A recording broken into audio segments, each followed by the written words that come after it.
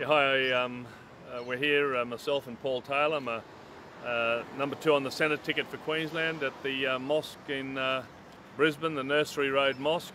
And uh, we'd just like to talk about the Islamification of Australia and how we can see it as a huge threat. And I'd like Paul to just elaborate that, on that a bit.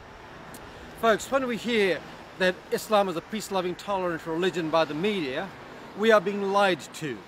Let me tell you what Erdogan, the president of Turkey, who is the head for all the Muslims in the world, his exact words.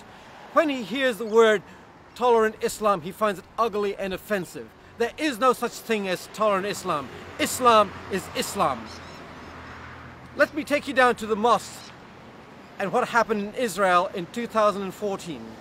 When the Israeli army found tunnels that were in Israel, those tunnels from Israel led straight to Gaza and into the mosques. And in those mosques, they found arms and armaments.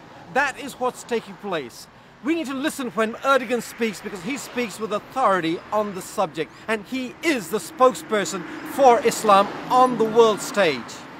Also, uh, I don't believe we should have uh, uh, Muslims in our parliament. Uh, it's not only, uh, Islam is not only an ideology of hate, but it's also a form of government. So when they swear allegiance uh, on the Quran, uh, they're actually swearing allegiance to a foreign power. So uh, I don't believe we should have Muslims in our parliament, and uh, I think that it should go to the High Court for a decision on it. I'll tell you something else too. This is what Erdogan had to say. This is Erdogan, the world spokesperson for Islam. This is what he had to say about a mosque. The minaret on a mosque is our bayonet, the dome is our helmet, the structure is our barracks, and the faithful followers our army. Folks, that is powerful, and when he speaks, we need to sit up and listen.